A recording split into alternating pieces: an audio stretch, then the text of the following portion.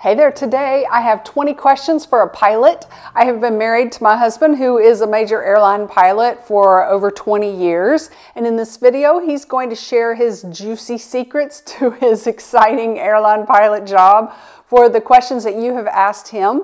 He answers questions about flight delays and then gets into some of the nitty gritty job title description that he has as a pilot throughout his career. Since this interview, I've gotten a haircut and my fallopian tubes cut and removed, and now I have mental energy. And I thought of one secret that many passengers do not know. And so that is who flies the airplane. When your airplane gets up in the air and you hear the first officer say, It is now safe to unbuckle your seatbelts, that means that he is not the one flying the airplane during that part of the trip when you land and then you get up in the air again and a captain is talking and he says, Hi, this is your captain, welcome aboard. He is the one who is manning the microphone and communication systems, and the first officer will be the one who is flying the airplane. So each of them has to be prepared, trained, and qualified to fly the plane all by themselves. Basically, they just switch off per leg of the flight. Okay, so are you ready? All right, what do you dislike most about your job? Uh, I like everyone. We don't like to be delayed because we have lives we want to go home to and stuff. So I would say delays are the biggest part I dislike about my job. And are you in control of any of those delays? Not usually. I mean, we want to fly airplanes, so a lot of times it's weather or technology or just um, the plane's late arriving that we can't take it to leave. So we don't like delays either. All right. Do you feel like a traditional college degree is required or necessary with flying lessons or a certain flight school that they should go to? Aviation industry right now is in a very uh, good position for pilots. They, they're in high demand. Uh, so normally I would tell people you don't really need a college degree anymore. That's uh, how in need the pilot or the airlines are. But I always encourage people because it's a very cyclical business and it's kind of tied to the rest of the world economy to always maybe go the traditional route to get a degree so you have something to fall back on should you not be able to fly. So he has a really good memory and he remembers like all the mechanical stuff about uh, a lot of the mechanical makeup of airplanes and what makes them fly. Uh, what kind of degree did you get? I got a, a, degree in aeronautical technology, which is basically like an aeronautical engineering degree with not all the design and the heavy math. So you first went to school to do what? What did you uh, think? Originally, I thought you had to be an engineer to be a pilot, and then I realized that there's a lot of universities in the United States that have a flying program where they teach you the basics of airplanes, the basics of how airplanes fly, and then also give you classes in airline management and stuff like that. All this while you're getting your ratings to be a pilot. Has it always been your dream to be a pilot? And how did you end up being a pilot? Hi from Brazil. it is. It's something that I've always been fascinated with large, taking a large machine like in a jetliner and bringing it into the air and placing it down somewhere else. And my mom used to tell me that the Fisher Price airplane was the one I played with the most, so I think it was just embedded in me from a long time ago.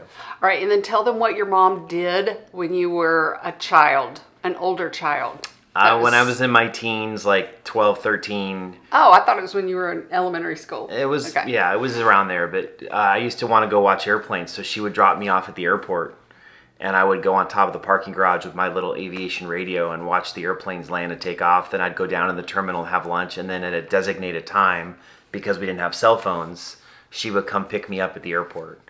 Um, granted, this is a long time ago where it was much safer to leave kids alone. Um, and then she would just come pick me up and take me home. All right, what's your take on pilots updating the passengers and speaking on the microphone? Uh, well, you know, I really encourage pilots to update the pastors as much as possible. I think most pastors are understanding that aviation is not a perfect form of transportation and we're going to run into delays, whether it be weather or mechanical or issues like that.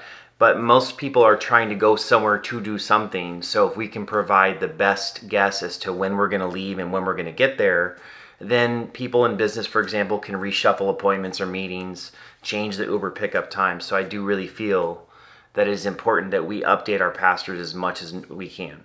Something that he told me is that is it makes sense that a lot of pilots like to just fly airplanes. They are very nervous about talking in front of mm-hmm. people. So, although we think it's so helpful and should be required, not all pilots enjoy do doing that. Right? Correct. Yeah. Correct. Okay. Um, have you ever met celebrities or politicians while flying? Uh, I have flown both. Uh, I I don't remember. I have a list somewhere, but um, we're not. We, we usually don't disclose who we're flying publicly. so. And then, would you ever consider being a personal pilot or a private pilot? For a corporate pilot, uh, probably not right now. One of the benefits of being in an airline is it's very regularly scheduled, so I can plan my life around when I'm going to be home, when I'm going to go to work.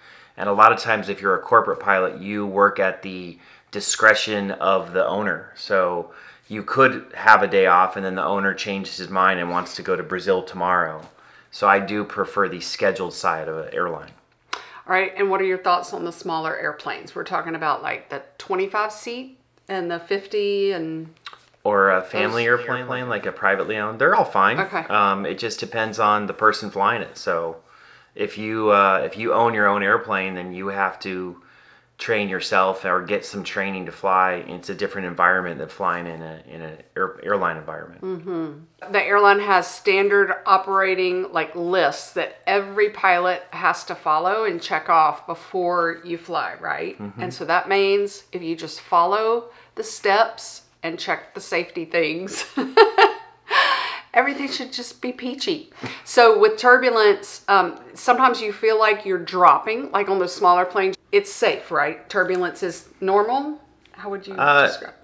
turbulence is not i mean we don't like it but turbulence is just it's part of the weather system uh, weather varies day to day in all parts of the world and so usually where you have some differences in weather high pressure low pressure you're going to get some kind of turbulence we've come a long way in technology we have lots of apps on our ipads now that we have up on the flight deck that help us predict turbulence or now we have it where the iPad can detect turbulence and then report it out to all the other iPads in the area that have the same software.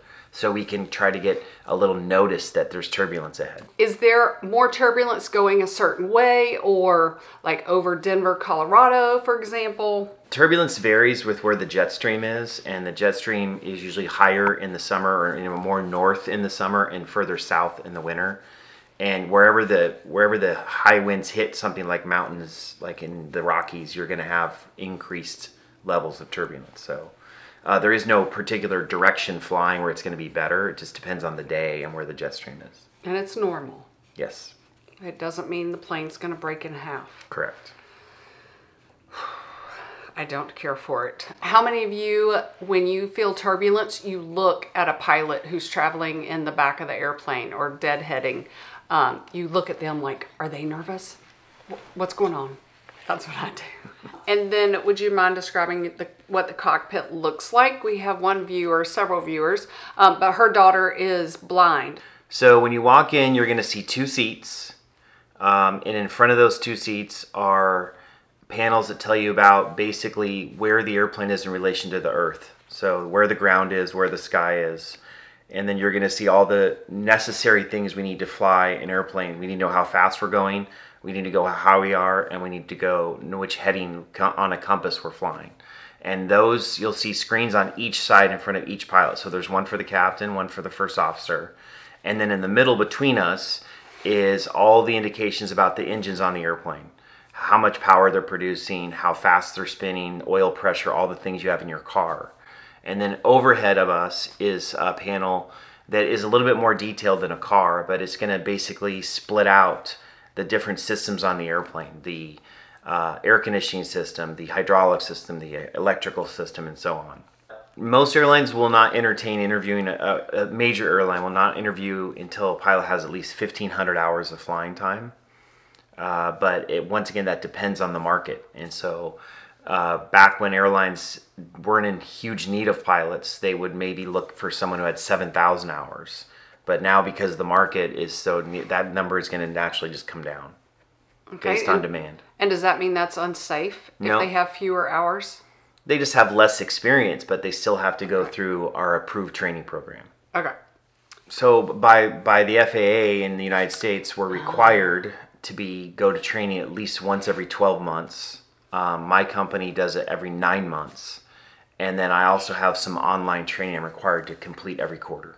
All right. Now, uh, you're only required to, or you can only work how many hours? I can't be scheduled to fly more than eight hours in a day. Okay. And who makes that rule? The FAA does. Okay, so when your flight gets canceled because the crew timed out or something like that, don't blame the airline, blame the FAA. and why are they saying that? Because of safety.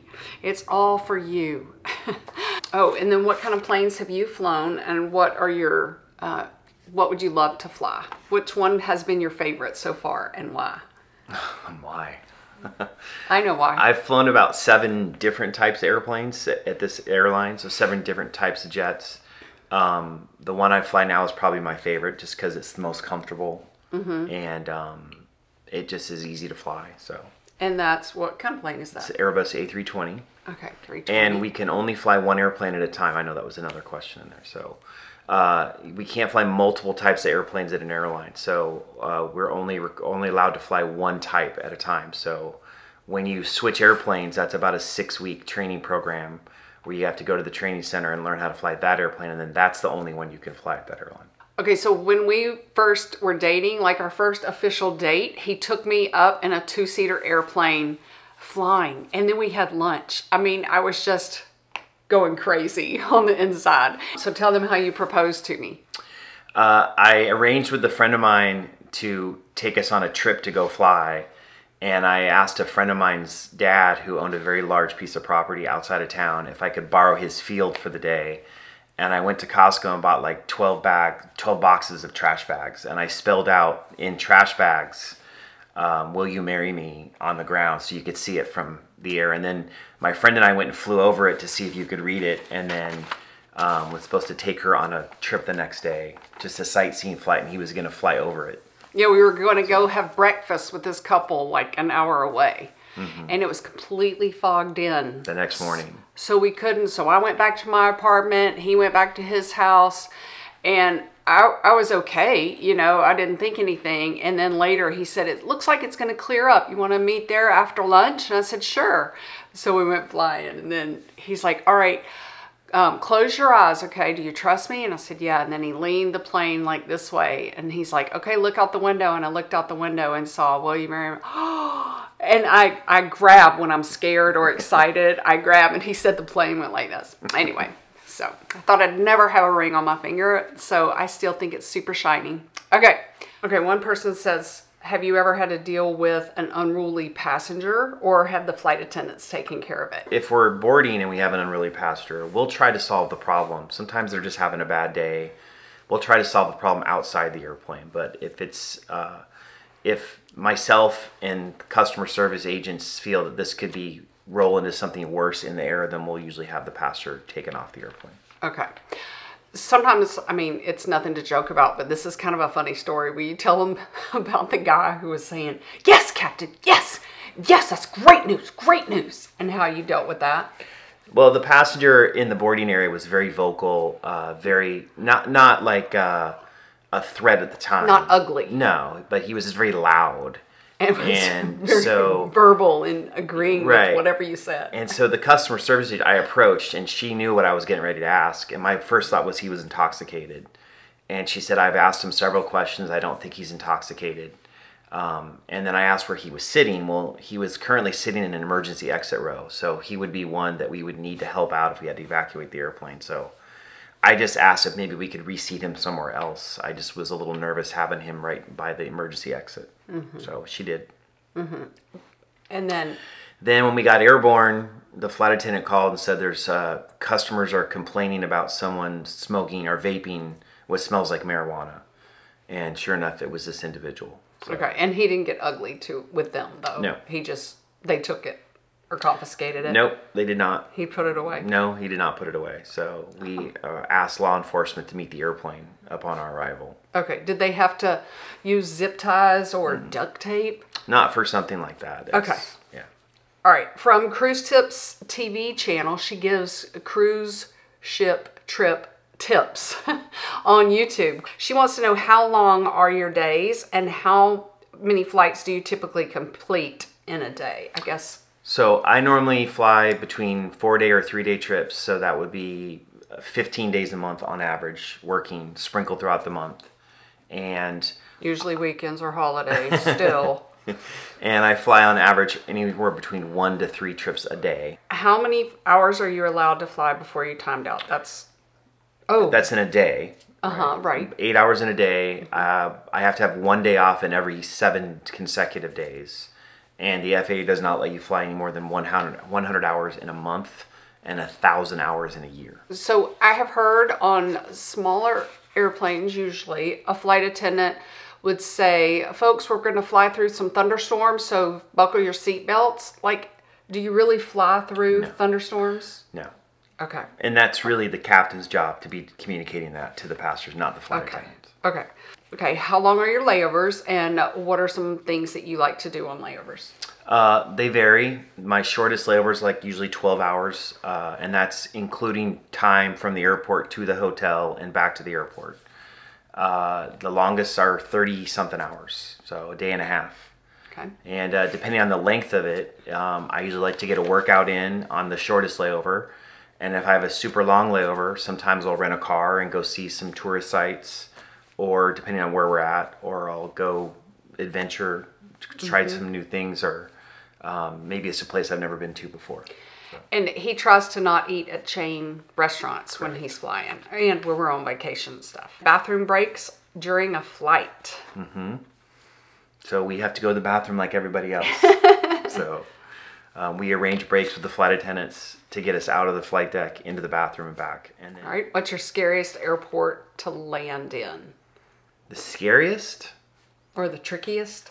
I think that the most challenging would be places that are outside the United States. Uh, uh, Canada is fine, but uh, Mexico has a lot of um, uh, older airports. They don't have the best infrastructure like we do in the United States. So sometimes those can be a little challenging, along mixed with the language barrier. They're speaking English to you, but Spanish to every other airplane that's uh, in their airspace that's of that country's origin. So sometimes you lose a lot of situational awareness, not being able to hear what's going on around you. All right, and then um, one like what makes it challenging? Does that mean like there's a mountain right before the landing strip and then a mountain right after? Uh, it's or? either the the geography of the area, the altitude of the airport, um, and then just the amount of airplanes they're trying to squeeze into one piece of pavement. Say hi, hi. okay, what was the weirdest thing that you saw when you were up in the sky? I didn't know it at the time, but I later researched it. But we saw a meteor re-entering the Earth's atmosphere.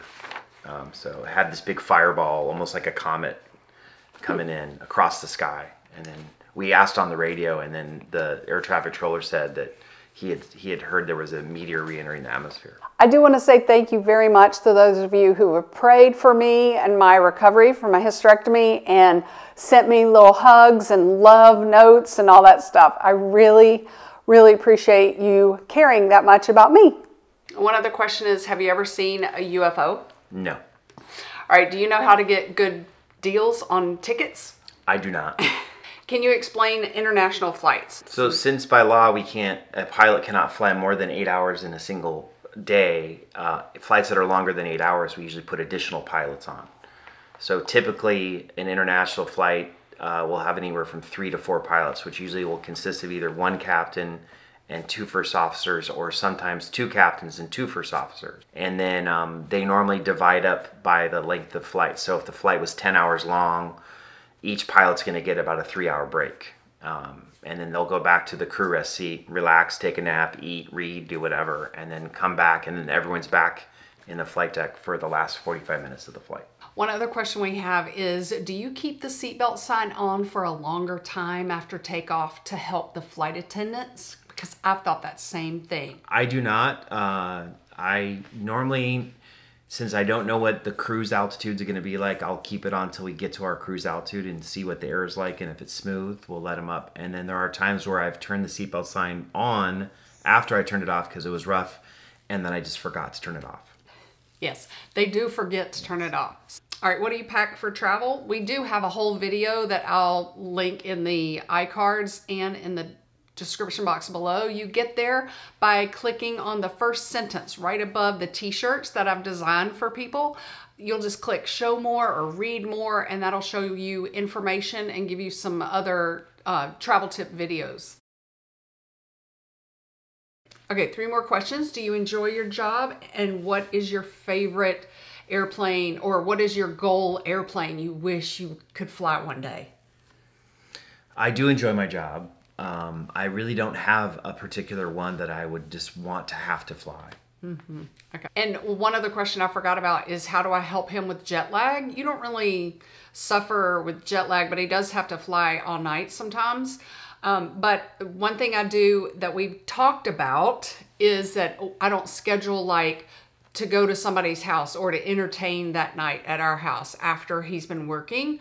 Um, but sometimes if we have a special night like the the night that University of Georgia played TCU and beat them, um, it, you know, we might invite people over that night and he would sacrifice for the team. And for me, if that's something that I really wanted him to do, um, I try to give him some quiet time and not tell him everything that happened while he was gone um, and let him check his mail. He loves checking the mail, like a lot of pilots, or I don't know, a lot of pilots like to do that. Um, and then one final question is Do you know any single pilots? I do. I do know some single pilots. all right.